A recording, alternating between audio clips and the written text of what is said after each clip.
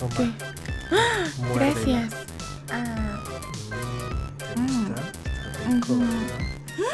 Mm. Ay, te manchaste. Uh -huh. Mm.